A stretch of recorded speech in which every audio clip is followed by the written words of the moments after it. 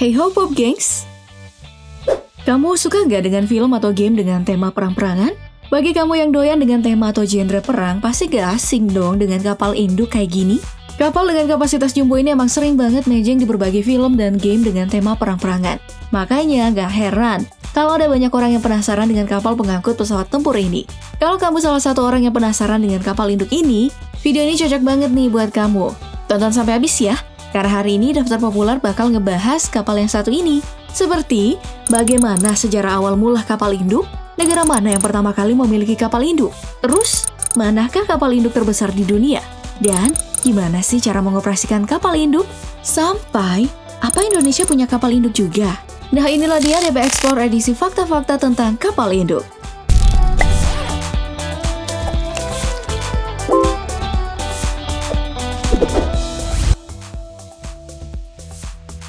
Kapal induk pertama Berdasarkan sejarah nih, kapal induk pertama yang ada di dunia itu adalah Hoso, milik Jepang yang dibangun pada tahun 1920.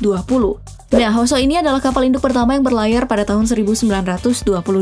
Kapal berukuran jumbo ini diciptakan untuk menjawab kebutuhan militer Jepang pasca Perang Dunia Pertama. Pada saat itu, dunia militer menemukan kelemahan dari pesawat tempur yang menjadi senjata utama kala itu, yakni pesawat-pesawat tempur tersebut tidak bisa mengisi bahan bakar di tengah perjalanan. Ya, nggak mungkin kan? Ada tempat pengisian bahan bakar di tengah lautan ataupun di atas langit. Jadi, satu-satunya cara adalah dengan membuat sebuah kapal yang bisa menampung keperluan pesawat tempur, mulai dari lepas landas, mendarat, sampai perbaikan pesawat tempur di tengah medan perang. Ya, jadi wajar aja kalau kapal induk satu ini menjadi awal dari segala kapal induk yang ada sekarang ini. Kapal induk terbesar Kini ya setidaknya ada lebih dari 10 negara yang memfungsikan kapal induk. Dari negara superpower seperti Amerika, sampai negara Asia Tenggara seperti Thailand. Nah, dari semua kapal induk yang dimiliki berbagai negara, kapal USS Nimitz milik Amerika Serikat adalah kapal induk yang dengan ukuran dan bobot paling besar di dunia. Panjangnya itu ya Bob Gengs, mencapai 333 meter. Beratnya 101.600 ton dan dapat menampung sampai 90 pesawat tempur dengan kecepatan maksimal hingga 30 knot atau sekitar 56 km per jam. Nah, kapal USS Nimitz ini memiliki ukuran dua kali lebih besar daripada kapal induk milik Inggris, yaitu HMS Queen Elizabeth, yang hanya bisa mengangkut 40 pesawat. Dengan begitu, belum ada kapal induk yang menandingi kapal ini. Soalnya, kapal induk Storm milik Rusia yang konon bisa menampung sampai 100 pesawat ini masih sekedar wacana doang. Padahal ya, kabar tentang kapal induk Rusia ini sempat loh bikin Presiden Amerika Donald Trump cenut-cenut karena bakal punya saingan. Cara kapal induk beroperasi Dengan ukuran yang sangat besar pasti banyak dong yang penasaran gimana sih mengoperasikan kapal segede gaban ini?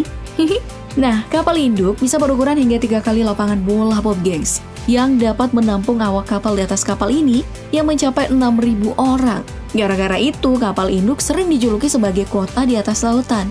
Dalam beroperasi mengarungi samudra, kapal induk gak sendirian, tetapi dikawal oleh beberapa kapal yang difungsikan untuk menyerang dan bertahan jika terjadi kondisi darurat.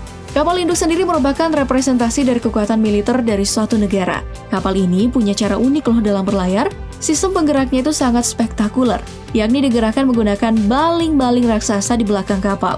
Baling-baling atau propeller berukuran jumbo ini pun digerakkan bukan dengan bahan bakar minyak, melainkan memakai tenaga nuklir. Makanya, kapal induk sekarang bisa berlayar sampai 25 tahun tanpa mengisi bahan bakar. Soalnya, bahan bakarnya ya tadi, memakai nuklir. Dengan sumber tenaga ini ya bisa menghidupkan berbagai aktivitas dan fasilitas. Layaknya kota terapung seperti minimarket, gym, dan barbershop. Jadi wajarlah bila kapal induk dapat menjelajahi samudra tanpa henti. Nah begitulah fakta tentang bagaimana kapal induk yang seperti kota di atas lautan ini beroperasi.